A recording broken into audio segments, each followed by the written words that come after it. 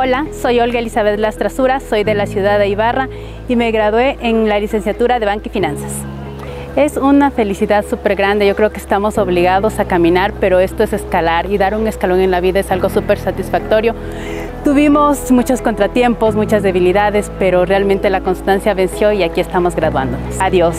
A Dios lo dedico principalmente, a mis papás y a mis compañeros de trabajo que me ayudaron muchísimo y también a los licenciados de la universidad porque fueron muy humanos, muy profesionales y muy constantes con nosotros.